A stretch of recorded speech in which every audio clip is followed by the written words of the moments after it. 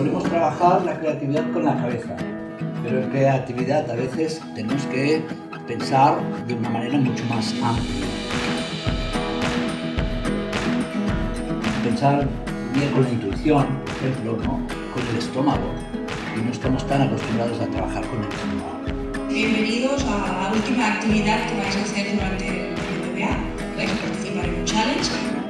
La Fundación Ecológica es una entidad que tiene mucha historia, pero que hace unos años se reformuló y se orientó a dedicarse a la innovación ecológica. La innovación que tiene éxito es la que tiene que resolver una necesidad de alguien.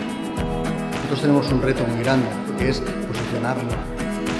Si la FOC hace lo mismo que otras fundaciones, ¿por qué Proyecto Y se trata de abrir, de encontrar muchas posibles soluciones, generar ideas.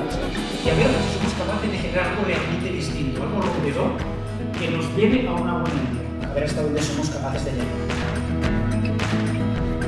No buscamos primero dar soluciones, sino que encontrar las preguntas concretas y luego vendrán las ideas. Por tanto, vamos a ir a la calle y vamos a preguntar.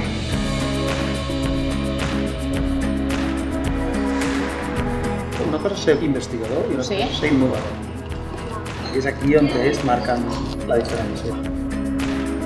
Esta experiencia de salir a la calle y buscar inspiración realmente eh, es muy interesante.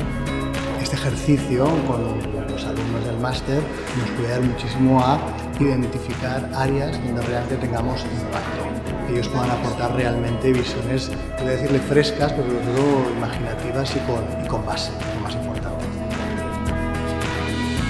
Es tracta de trencar una miqueta amb, el, amb les esquives mentals amb les que treballem, perquè és un procés de descoberta per fer noves preguntes, eh, per ajudar a la FOC a repensar-se molt de nova vida. Cuando hablamos de los factores de riesgo que provocan cáncer, sobre todo hablamos de consumo de tabaco. ¿Y si somos capaces de crear un tabaco que dé vida?